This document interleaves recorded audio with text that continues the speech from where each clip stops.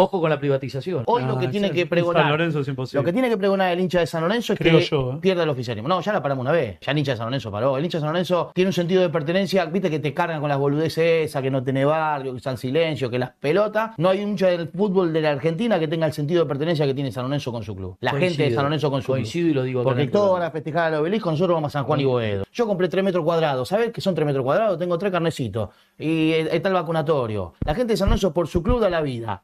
La gente de San Lorenzo juntó 8 millones de dólares. Todos hablan de este muchachito que le juntó para Independiente, que hizo un negocio. En San Lorenzo, genuinamente, el hincha de San Lorenzo, la subcomisión del hincha, hizo un, un fideicomiso para recomprar los terrenos de Avenida La Plata. Lo que correspondía a la gente se puso. Lo que tenía que poner el club no se puso nunca.